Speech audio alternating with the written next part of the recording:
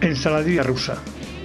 En una olla rápida ponemos dos dedos de agua, la bandeja correspondiente, un kilo de patatas enteras que habremos lavado muy bien, 400 gramos de zanahorias peladas y sin las puntas y tres huevos que también habremos lavado. Tapamos y cocemos durante 10 minutos desde que suba el testigo. Además necesitaremos una cebolleta mediana, dos cucharadas de mostaza dulce, tres pepinillos agridulces, dos latas de atún, unos 150 gramos, 750 gramos de mahonesa.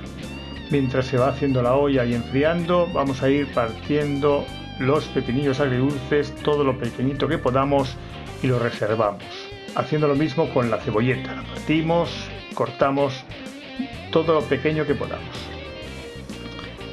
Mientras la olla ya ha terminado y una cosa muy importante, hay que dejar que se enfríe los elementos del todo. Una vez fríos, trincharemos las zanahorias en cuadraditos y las ponemos en un recipiente grande donde también añadiremos el pepinillo y la cebolleta que hemos reservado. Escurrimos el aceite de las dos latas de atún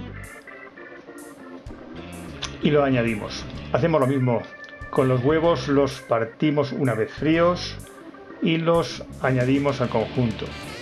Vamos a hacer lo mismo con las patatas que ya tenemos también frías, las pelamos y las partimos en daditos pequeños.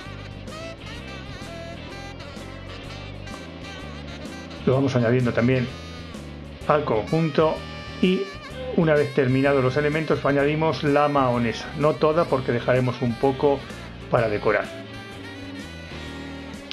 Añadimos la cucharada de mostaza dulce que le da un punto diferente. Movemos eh, todos los elementos hasta que estén perfectamente mezclados. Despacito y sin pausa. La masa la vertiremos en un recipiente con tapa que vamos a decorar con un poquito de mahonesa por encima y vamos a meter en el frigorífico durante 4 o 5 horas para que coja su textura, se enfríe y la tengamos lista para su uso. Una vez pasado ese tiempo podemos emplatar y que aproveche.